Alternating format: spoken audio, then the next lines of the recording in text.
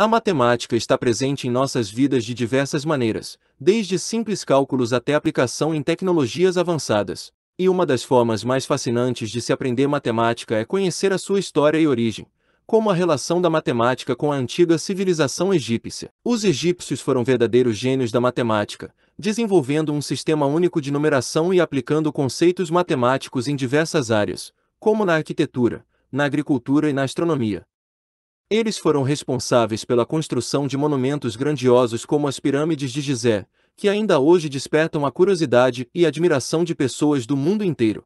Os enigmas matemáticos deixados pelos egípcios são um verdadeiro desafio para os estudiosos da matemática, e até hoje alguns deles não foram completamente resolvidos, como o problema da altura da pirâmide de Kelps. Desvendar esses mistérios não só nos ajuda a compreender melhor a matemática antiga, mas também a evolução do pensamento matemático humano.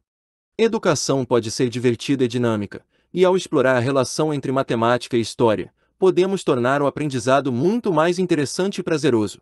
Jogos e atividades que exploram a matemática antiga, como a construção de maquetes de pirâmides e a resolução de enigmas egípcios, são uma forma lúdica de ensinar matemática e despertar o interesse dos alunos pelo assunto.